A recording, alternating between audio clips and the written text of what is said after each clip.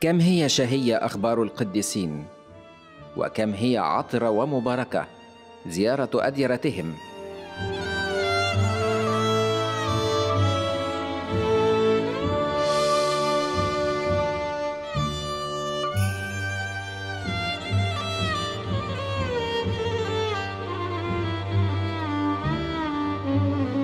واليوم نحن في إحدى جولاتنا القبطية.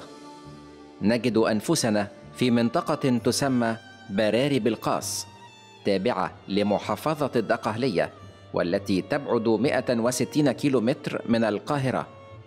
نجد أنفسنا في منطقة مباركة زارتها العائلة المقدسة وهي قادمة من بلدة سمنود واستقرت بها مدة غير محدودة من الزمن ولا توجد بها آثار باقية من مرور هذه الرحلة.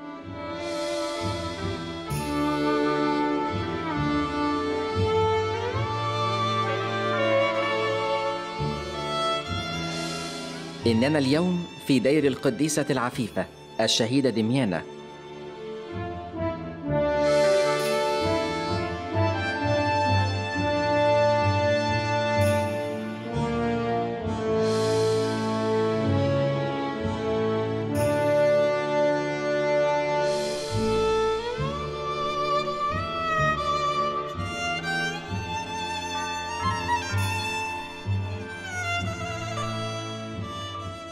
أما كنيسة القبر أو كنيسة القديسة دميانة والأربعين عذراء فبنيت عام 1952 ميلادية على يد المتنيح الأنبا تيموثاوس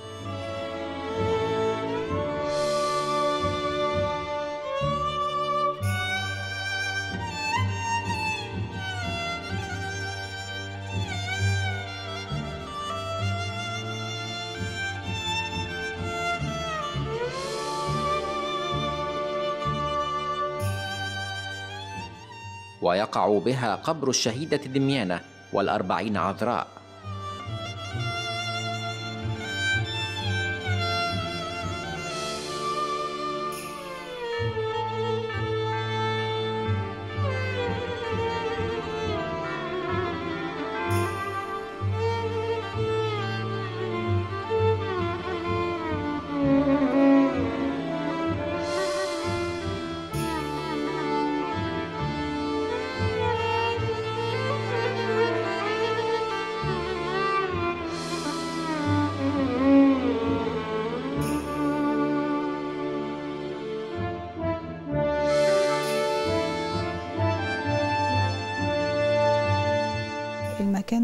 الكنيسة دي بتاعت قبر القديسة دميانة كانت من الأماكن اللي بنتها الملكة هيلانا ودشنها ال- ال- البابا ألكسندروس اللي هو حضر مجمع نقية.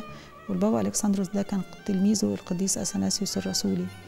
فالبابا ألكسندروس جه هنا في المكان ده وهو اللي دشن كنيسة القبر اللي بنتها القديسة دميانة على آه، قبر العذارى والقديسة دميانة في القرن الرابع. الكنيسة هنا يعني تعتبر آه، أقدم كنيسة لأن دي الكنيسة اللي بنتها الملكة هنالة وبعد كده ابتدى عمار الدير وعمار المكان آه، لكن طبعا تم تجديدها كتير. وآخر تجديد تم في آه، حبرية نيافة الأنبا بشوي في عهد قداسة البابا شنودة الثالث. وحاولوا يرجعوها جابوا خبراء من سويسرا حاولوا يرجعوها لنفس الطراز اللي كان بيبقى فيه المباني في القرن الرابع. فاتعملت فعلا بالحجر الرشيدي واتعملت بطراز بالطراز بتاع المباني بتاع القرن الرابع. يعني كأنها كانت فعلا في الأصل مبنية بنفس الطريقة كده. وعلشان إن الملكة هيلانا هي اللي بنت ال- الكنيسة فنيافة الأنبا بشوي حرص إن هو يجيب جزء من رفاهية القديسة دي هيلانا الملكة هيلانا آه، ويحطه تحت قبر آه، تحت المذبح اللي على قبر القديسة دميانة علشان يعني آه، تكريما ليها برضو إن هي اللي بنت ال- المكان. وفي عند برضو عند القبر بتاع عند المذبح القبر القديسة دميانة آه، في جزء من آه، خشبة الصليب اللي كان السيد المسيح اتصلب عليه. وتتبارك الكنيسة بوجود جزء من جسد القديسة الملكة هيلانا.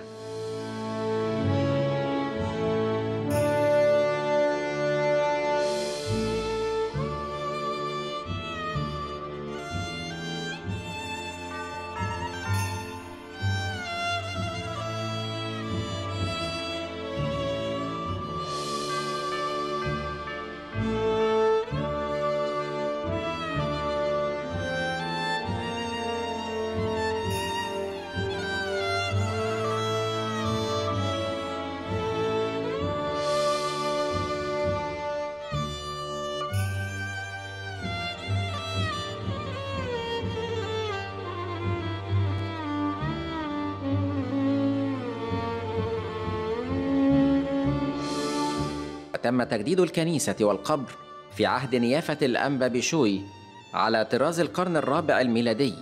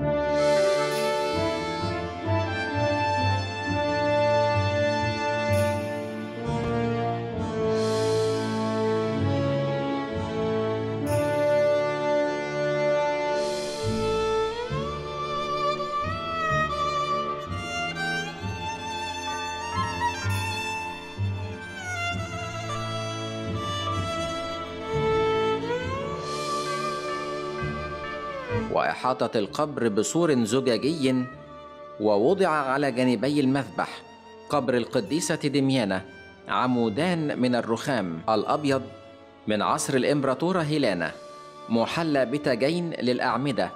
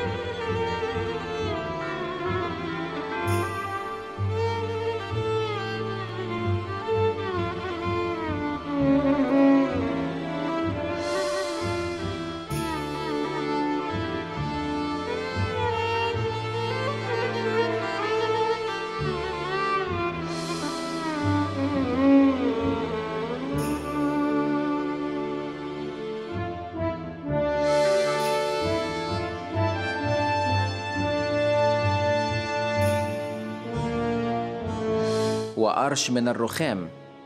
مكتوب عليه اسم الشهيدة دميانة.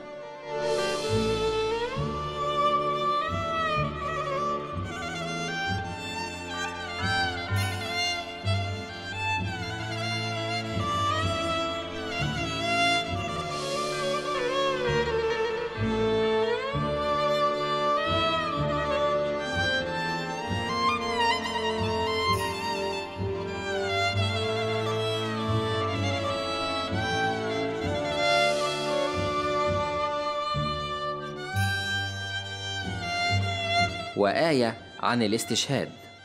وهم غلبوه بدم الخروف وبكلمة شهادتهم ولم يحبوا حياتهم حتى الموت.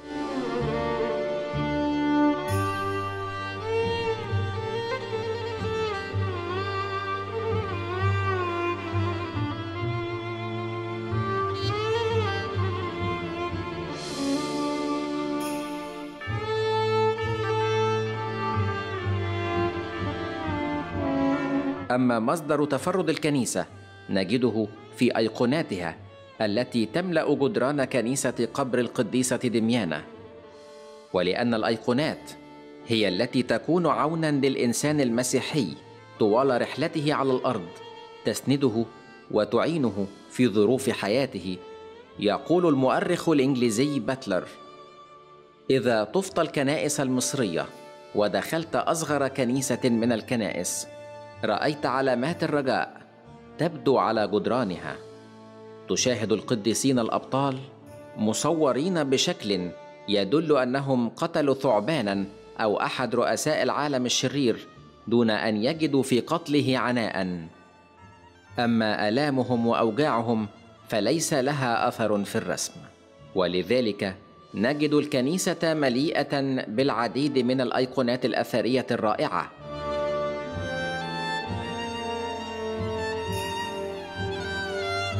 أيقونة للقديسة دميانة والأربعين عذراء من رسم الفنان إيزاك فانوس.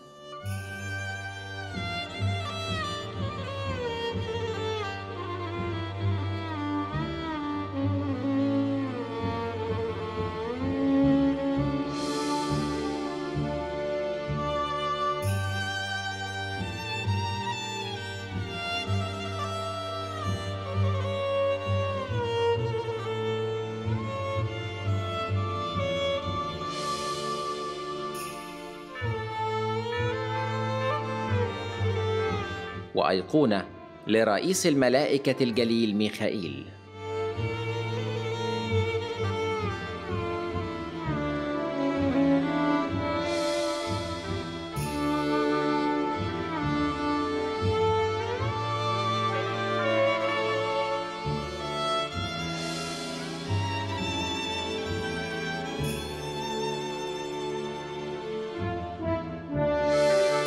أيقونة للقديسة العذراء مريم التي تمثل الطهارة تحمل السيد المسيح له المجد.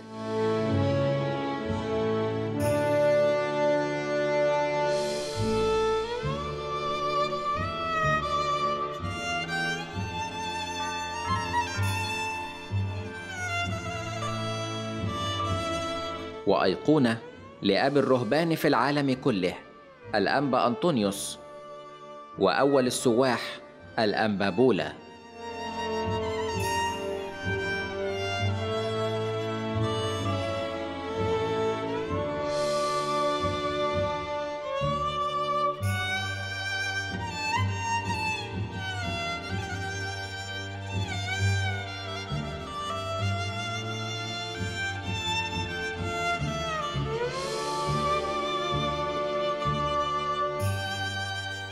البعثة الروسية اللي جت رممت الأيقونات الأثرية كلها اللي في الدير وأزالت اله- الهباب بتاع ال- الشمع والشموع والحاجات دي وأبرزت الألوان ورممت بعض الإصابات. فبقت الأيقونات في منتهى الجمال وعملنا لها آه، مقصورات حجرية في الحيطان وحفظناها عشان ما تتحرقش من الشمع أو حد يعبس بيها. وأروع ما تحتوي عليه الكنيسة النوافذ وهي عبارة عن أيقونات رائعة. من الزجاج المعشق التي تتلألأ فيها الألوان بشكل متناسق.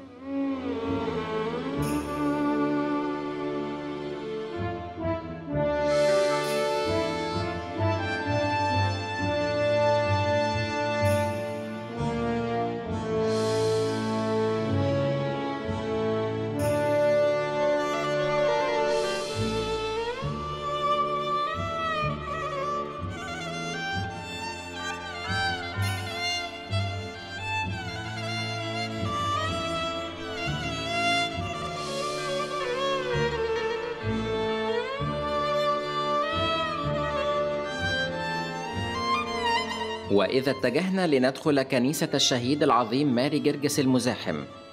تجد مدخلا أثريا أمام الكنيسة يرجع إلى القرن الثامن الميلادي يتزين بالأعمدة والتيجان التي تعلو الأعمدة بالحجر الهشمي.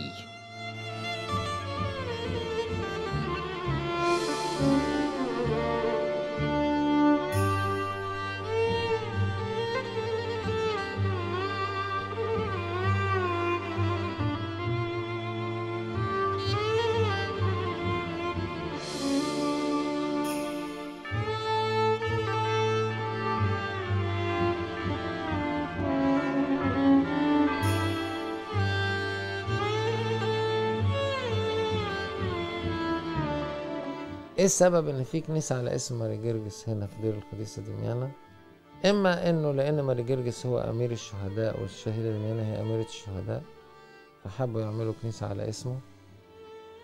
أو لأن جسد الشهيد ماري جرجس مزاحم اللي استشهد في القرن الحداشر الميلادي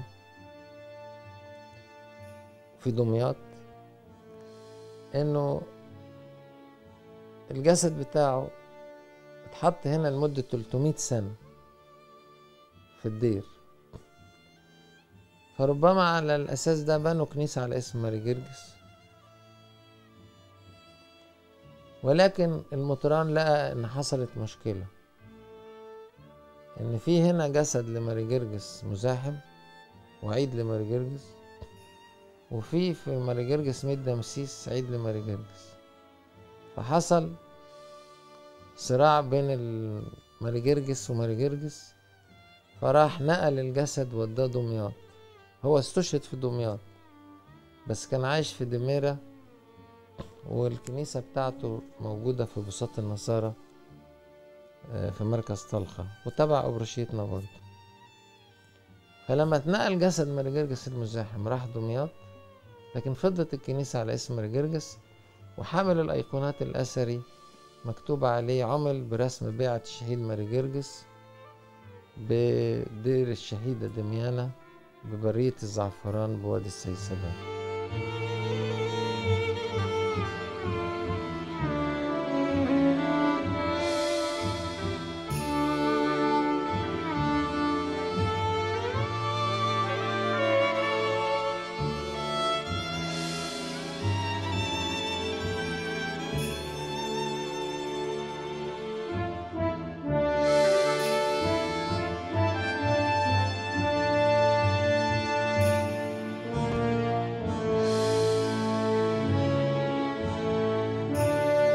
ثم ندخل الكنيسة وهي بحق كنيسة السماء.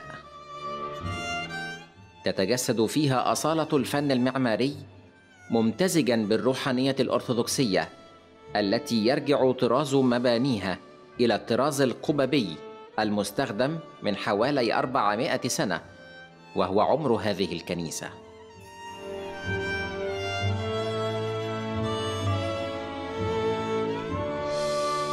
تتميز الكنيسة بوجود حامل للأيقونات أثري يتكون من أربعة أجزاء. زين من الخشب وبه زخارف على شكل صليب.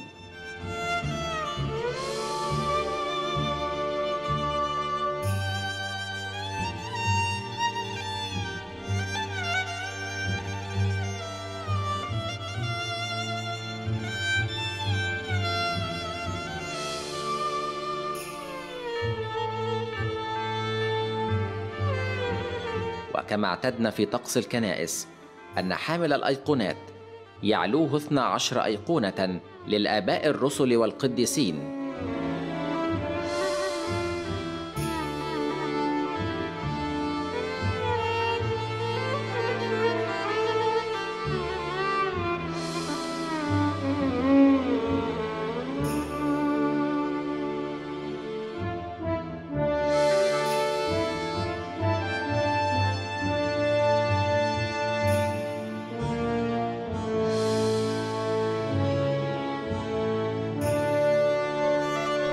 وعمر هذا الحامل 200 عام وتم ترميمه على أيدي متخصصين في عهد قداسة البابا شنودة الثالث ونيافة الأنبا بشوي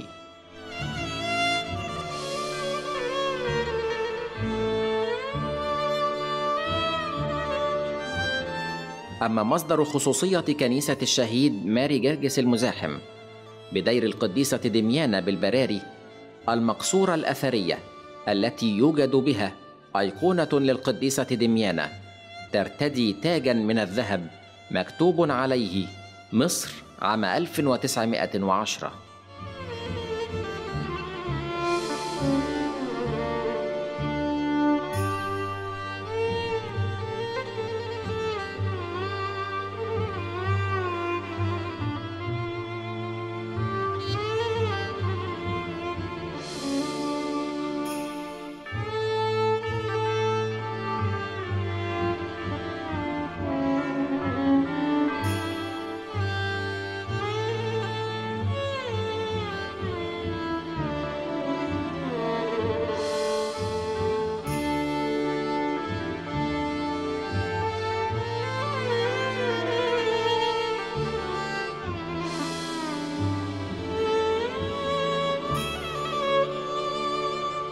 كما يوجد بالدير. أول كنيسة في العالم على اسم الشهيد الوالي مرقس والد الشهيدة العفيفة دميانة. والتي افتتحها نيافة الأنبا بشوي بقداس خاص حضرته راهبات الدير والمكرسات في يوم الأحد الموافق التاسع والعشرين من مايو عام 2005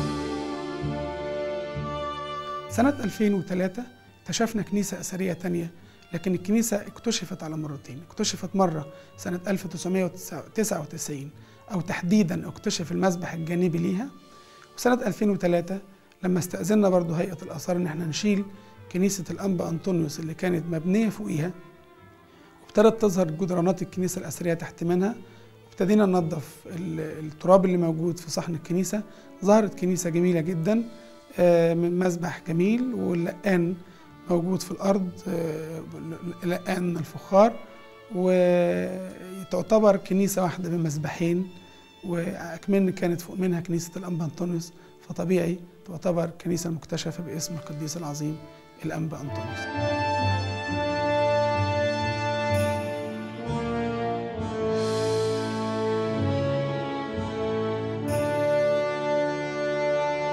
ثم ندخل لنرى الكنيسة الكبرى وهي أيضا على اسم القديسة دميانة والأربعين عذراء.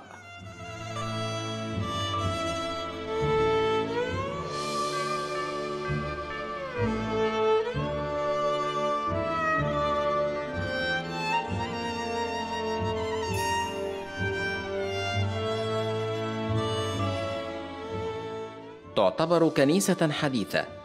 بدأ العمل فيها عام 1925 على يد المتنيح الأنبا بطرس وقام قداسة البابا شنودة الثالث بتدشين مذبحها.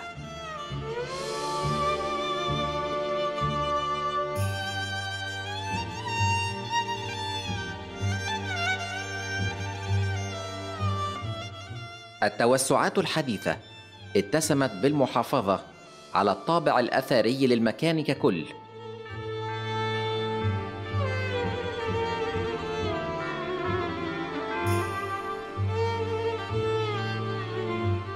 فنجد مدخل الكنيسة تعلوه أيقونة كبيرة بالفن القبطي للقديسة دميانة والأربعين عذراء.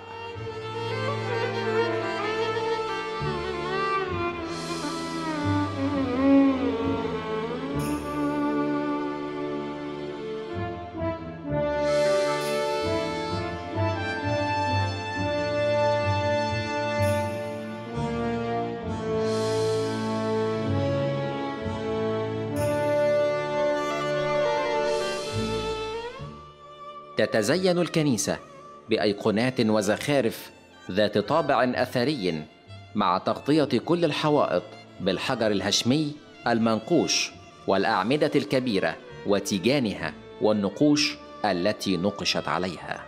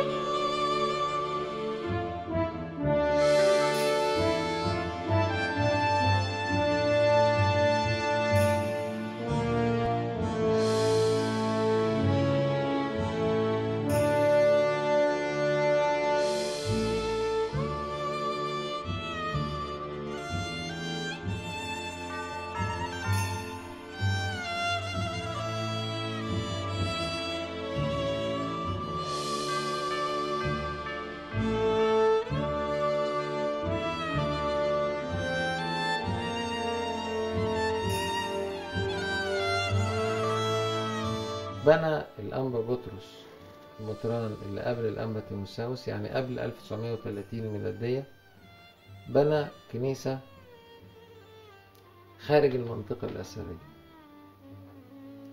وسماها على اسم القديسة دميانة والأربعين عذراء عشان تساعد الناس الزوار في الاحتفال بعدد كبير أوي. جه نيافة الأنبا تيموساوس اللي اترسم سنة 1930 وتوفى سنة 1969 اترسم بداله أو في المنطقة هنا دمياط والبراري الأنبا اندراوس الأنبا تيموساوس ساب تقريبا تلت الكنيسة الوراني وزحف إلى الأمام ودخل في المنطقة إلى الشرق. وساب العواميد بتاعت الكنيسة من غير سقف. وعمل سقف كان خشب فكان سهل إنه يغير وضع السقف لأنه كان خشب. وبنى قبة كبيرة جدا فوق الهيكل خرسانة مسلحة. وعمل ناحية خشب والناحية خرسانة في الخراسين الجانبيين. الكنيسة دي هي الكنيسة الكبيرة اللي في مدخل الدير وانتوا داخلين من الباب الشرقي بتاع الدير البوابة الرئيسية. تلاقوها على ايدكم الشمال على طول. الكنيسة دي الخشب السقف بتاعها سوس. فكان على وشك يقع ومساحتها كبيرة جدا.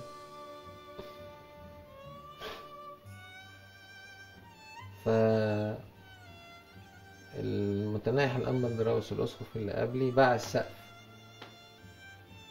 بتلات آلاف جنيه وحط فلوسه في البنك. وجاب زلط كتير خزنه جنب حتة الكنيسة. وما استمرش في الأسقفية إلا سنتين ونص تقريبا ثم تنيح. تنيح في أربعة أغسطس سنة اتنين وسبعين.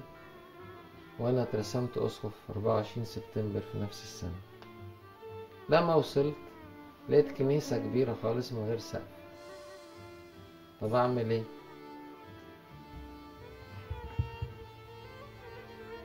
جبت مهندسين وعملنا رسومات وتصميمات وكده. لقيت الوقت مش هيكفي لغاية مايو عشان نحتفل بعيد الشهيدة الإمام فاضطرينا أول سنة احتفلنا بالعيد والسقف كان كله فراشة من الخيم بتاعت الصوانات اللي بيعملوها في العزة ده. فغطيناها كلها. في بعض الأيام حصلت عواصف أثناء الاحتفال. فبقى السقف عامل زي شراع المركب كده يعني. بعد الاحتفال ابتدينا بقى نصب السقف الخرسانة.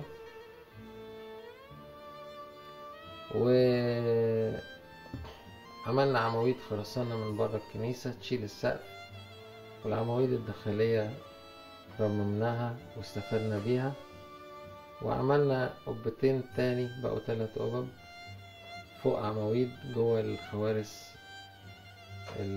البحري والإبل حاليا بقى عملنا مسبح للإمبراطورة هيلانا في الجانب البحري. في الكنيسة الكبيرة.